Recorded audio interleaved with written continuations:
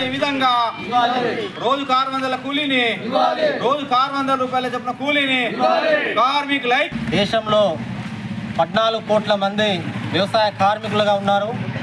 వారు రెక్కలాడితేనే కడుపు నిండేటటువంటి పరిస్థితి. కానీ ఈరోజు కేంద్ర రాష్ట్ర ప్రభుత్వాలు వారి మీద చిన్న చూపు చూస్తూ ఉన్నాయి. అదేవిధంగా ఉపాధి హామీకి పోదామంటే ఉపాధి హామీ యొక్క బడ్జెట్ను కూడా తగ్గించినటువంటి పరిస్థితి.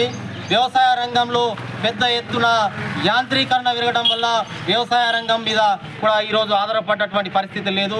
దాన్ని మేము తీవ్రంగా ఖండిస్తూ ఉన్నాం.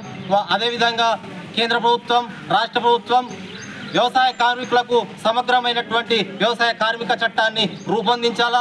అదేవిధంగా వారికి ఆరు వందల రూపాయల కూలీ ఇవ్వాలా? అదేవిధంగా వారి పిల్లలకు నాణ్యమైనటువంటి విద్యను ఇవ్వాలా? అదేవిధంగా వారికి నాణ్యమైనటువంటి వైద్యాన్ని అందించాలా?